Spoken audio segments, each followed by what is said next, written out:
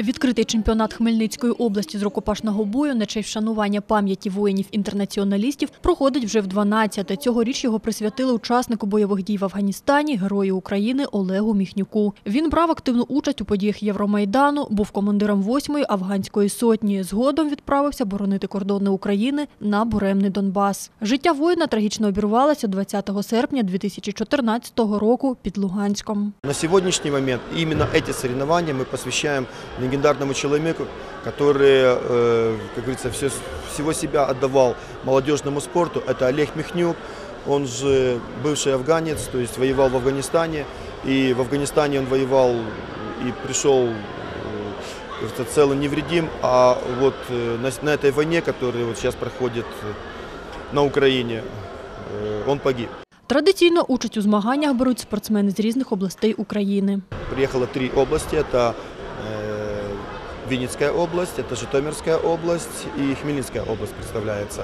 Волынская область буквально отказалась. Вот в- вчера не звонили, так как э, в основном все военнослужащие там тренера, поэтому не по э, определенным ряд причинам они не смогли приехать.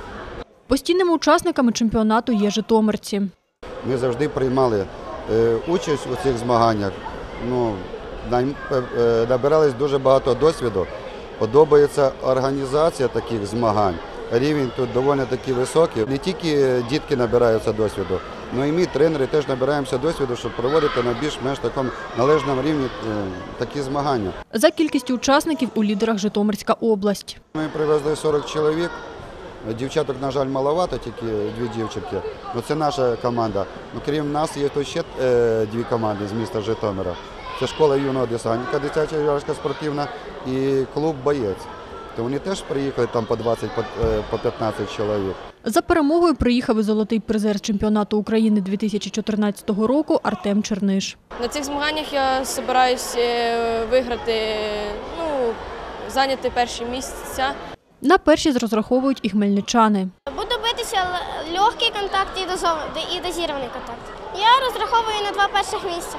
Е, Я буду виступати в легкому контакті та дозованому. Завжди, можна сказати, займала призові місця. Ярослава Іщенко, Ілля Васильєв для інформаційного випуску.